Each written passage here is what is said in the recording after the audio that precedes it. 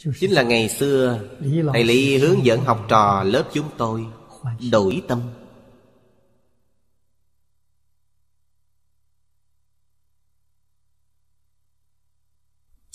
Đem tất cả những thứ tạp nham ở trong tâm chúng ta đều dứt bỏ hết. Mời Phật A-di-đà đến đặt ở trong tâm Gọi là đổi tâm Tâm thế gian phàm phu rất tệ hại. Tâm mọi người đều hiểu được là lương tâm. Ai ai cũng có lương tâm. Nhưng hiện tại lương tâm trở thành cái gì? Trở thành thùng rác của người khác. Đem toàn bộ những thị phi sai đúng của người khác để vào tâm mình. Đó không phải là lương tâm Đó là tâm bẩn thiểu Trở thành thùng rác rồi. Hiện tại thùng rác sạch sẽ. Những thứ trong đó đều sạch rồi. Phật A-di-đà đặt vào đó. Đó mới thật là lương tâm. Không có thứ gì tốt hơn được nữa. Trong tâm phải đặt Phật A-di-đà Tuyệt đối không nên đặt những thứ khác. Đặt những thứ khác là sai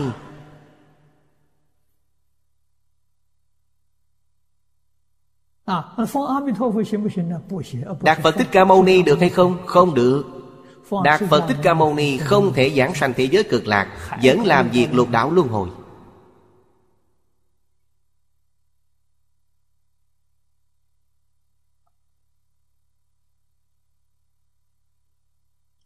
Đạo lý này. phải nghĩ cho thông. Phải thật làm Nhanh chóng thay đổi càng sớm càng tốt Không nên đợi đến ngày mai nữa. Hiện tại cần phải đổi.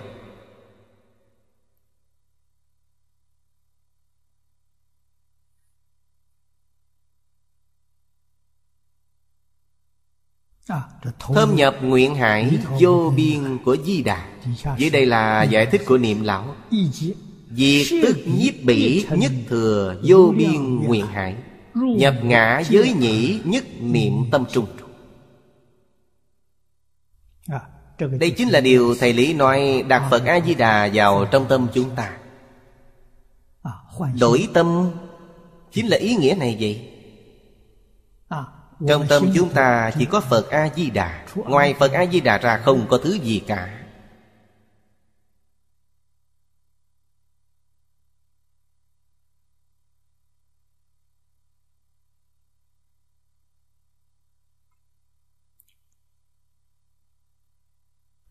Phật A-di-đà dạy chúng ta như vậy. Tổ sư Đại Đức cũng dạy chúng ta như vậy. Tôi cũng lấy câu nói này thường khuyên mọi người như vậy. Nhưng bản thân đã đổi được hay chưa? Chưa đổi được. Vẫn còn nghĩ đến Kinh Hoa Nghiêm. Rất nhiều người đang yêu cầu Còn có người yêu cầu tôi giảng Kinh Lăng Nghiêm. Cũng yêu cầu tôi giảng Quan Âm Tam Kinh. Những kinh này ngày xưa đều giảng qua. Bên Nhật Bản còn yêu cầu tôi giảng kinh địa tạng. Đây là gì? Đây chính là chưa đổi tâm được. Còn có nhiều thứ lung tung bên trong như thế Hiện tại tôi nghĩ thông rồi. Tuổi tác lớn Không thể cứ làm những thứ lộn xộn như vậy nữa. Thế nên bộ kinh này tôi giảng xong Rồi sẽ giảng lại từ đầu.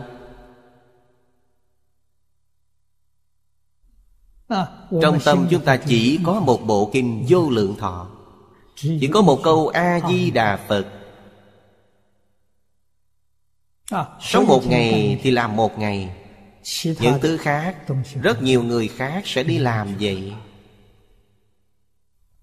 Đại sư Liên Trì đến cuối đời chỉ là một bộ kinh Di Đà Một câu danh hiệu Phật. Ngài nhắc đến Tam Tạng 12 bộ Để cho người khác ngộ.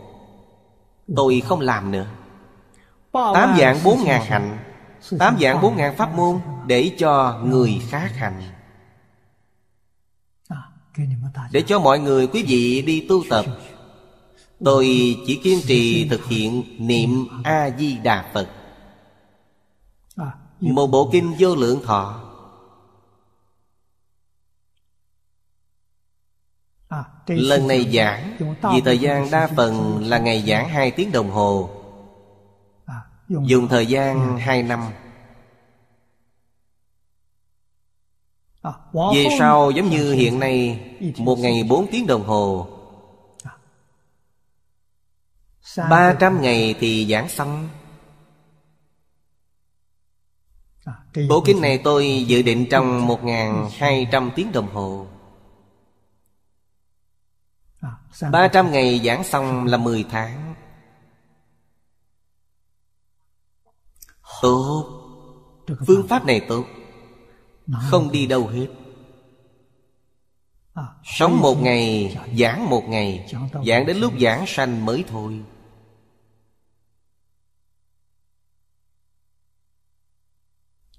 Đây là thật sự có phước báo. Đi khắp nơi rất cực khổ, Không có phước báo. Trước đây, Thầy Lý từng hỏi tôi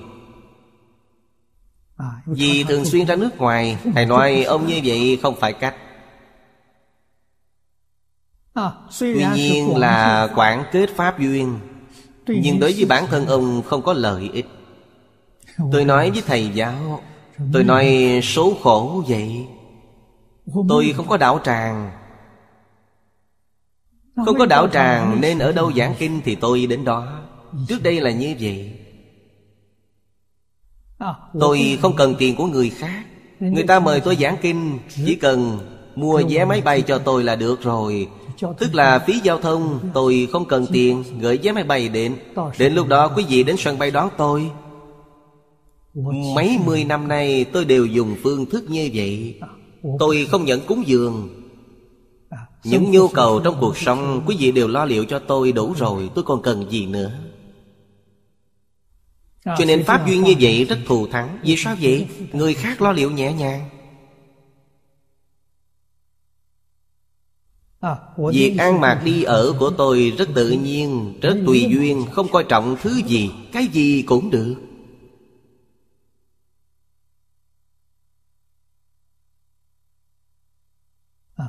Hiện tại quý hóa Hồng Kông cho tôi cư trú lâu dài Chúng tôi có một nơi nho nhỏ này Có thể dừng chân Không đi đâu nữa. Hy vọng Tam Bảo gia trì Nơi địa phương Hồng Kông này Không có tai nạn. Chúng ta mỗi năm Mỗi bộ Đại Kinh Giải một năm một bộ Đều viên mãn tại nơi này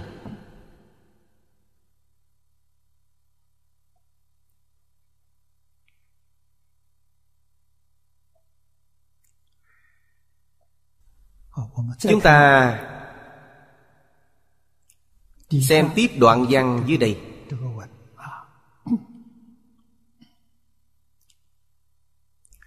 Thị cố thập niệm tất sanh Hữu nguyện tất mạng.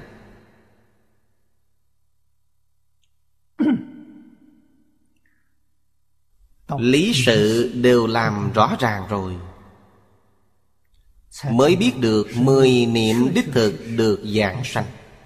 Mười niệm tất sanh là bổ nguyện của Phật A-di-đà. Mười niệm này là lúc nào? Lúc lâm chung. Nhất niệm có thể giảng sanh. Cũng có Pháp Sư nói Mười niệm này là bình thường thực hành thời khóa. Bởi vì công việc bận rộn Không có thời gian thực hiện công phu sáng tối. Vậy thì phải làm sao? Sáng sớm ngủ dậy Xúc miệng rửa mặt xong. Trong nhà có tượng Phật Đối diện tượng Phật. Không có tượng Phật đối diện phương Tây Niệm. Mười niệm. Mười niệm này là niệm một hơi. Không kể nhiều ít. A-di-đà Phật, A-di-đà Phật, A-di-đà Phật, A-di-đà Phật, A-di-đà Phật. Hết một hơi gọi là một niệm. Thời gian này không dài. Bàn tôi trước khi đi ngủ niệm mười niệm. Ngày ngày không gián đoạn Phù hợp với tịnh niệm tương tục. Đồ nhiếp lục căn tịnh niệm tương tục Có thể phù hợp với tiêu chuẩn này.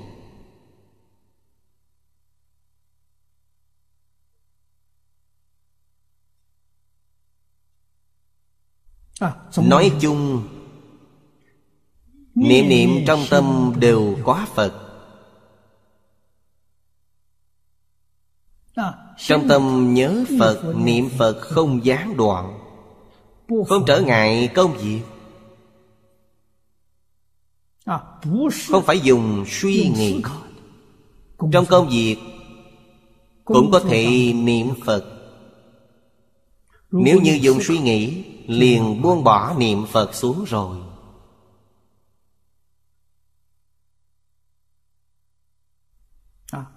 Ngày xưa ở Đài Loan có một nhóm đồng tu lái xe taxi. Hình như có hơn 30 người. Lúc đó đi ra ngoài Chúng tôi luôn có xe taxi xếp hàng. Họ lái xe có thể niệm Phật hay không? Tôi liền nói với họ Lúc lái xe tốt nhất không nên niệm Phật. Chuyên chú lái xe Không nên xảy ra tai nạn xe Việc này không thể phân tâm Cùng với việc dụng tâm không khác. Lúc dừng xe có thể niệm Phật. Quý vị dừng nơi nào đó đợi khách có thể niệm Phật. Hoặc là trên xe không có người. Quý vị lái xe không? Có thể niệm Phật Vì sao vậy? Vì lúc đó quý vị lái xe tốc độ khá chậm. Quý vị không vội vã Cũng không có mục tiêu Không có phương hướng. Nếu như có hành khách Quý vị liền dừng việc niệm Phật lại. Hoặc là quý vị dùng máy niệm Phật Danh hiệu Phật để cho hành khách nghe. Quý vị không thể chuyên chú vào danh hiệu Phật. Quý vị phải chuyên chú vào đường xá. Vậy là đúng rồi. Cho nên điều này là linh hoạt không phải có quy định gì Không có. Phương pháp niệm Phật này đơn giản nhất, dễ dàng nhất. Không chịu bất cứ hạn chế gì. Người khác không thích nghe Chúng ta niệm thầm trong tâm. Không trở ngại người khác. Cho nên mười niệm này ác được sanh Có nguyện liền viên mãn. Thú Phật Bồ Đề Trong nhân đã phát tâm Bồ Đề vậy? Trên quả là tất bổ Phật gì Bồ Đề cứu cánh vậy. Nhân Trước khi đến thế giới cực lạc Đều là nhân. Phát tâm quan trọng Tâm Bồ Đề là gì? Ngẫu ích Đại Sư nói rất hay.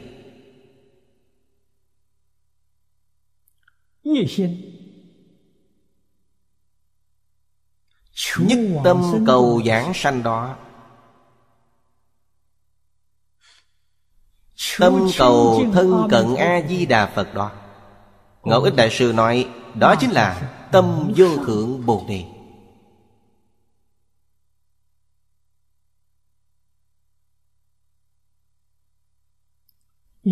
Ấn quan Đại Sư nhìn thấy Di Đà Kinh Yếu Giải.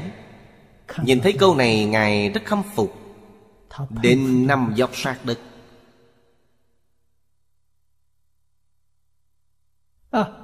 Không phải như thông thường người ta nói tâm Bồ Đề. Quý vị xem trích dẫn quán kinh. Là tâm trí thành. Thâm tâm Tâm phát nguyện hồi hướng. Đều nói cho người ta hồ đồ trong Đại Thừa khởi tính luận nói là trực tâm, Thân tâm, Đại bi tâm. Rất phức tạp, Rất không dễ hiểu. Ngẫu ích Đại Sư nói rất đơn giản. Quý vị phát tâm đến thế giới cực lạc, Thân cận Phật A-di-đà, Đó không phải là tâm vô thượng Bồ Đề rồi sao? Giảng rất hay. Đem rất nhiều rất nhiều những ông già bà lão ở dưới quê, Họ cái gì cũng không hiểu. Quý vị hỏi họ tâm Bồ Đề, Họ chắc chắn không hiểu được. Cái gì gọi là tâm Bồ Đề, Họ không biết được. Họ chỉ biết niệm Phật. Tôi muốn đến thế giới cực lạc Tôi muốn gặp Phật A-di-đà. Những thứ gì khác họ đều không biết. Ngẫu ích Đại Sư nói, Tâm của họ chính là tâm Bồ Đề vô thượng. Vậy là đúng rồi. Trực tiếp rõ ràng. Thật sự không thể nghĩ bàn. Phát tâm như thế nào Không phải cũng đều đến thế giới cực lạc sao? Mục tiêu cuối cùng không phải chính là gặp Phật A-di-đà sao? Làm đệ tử Di Đà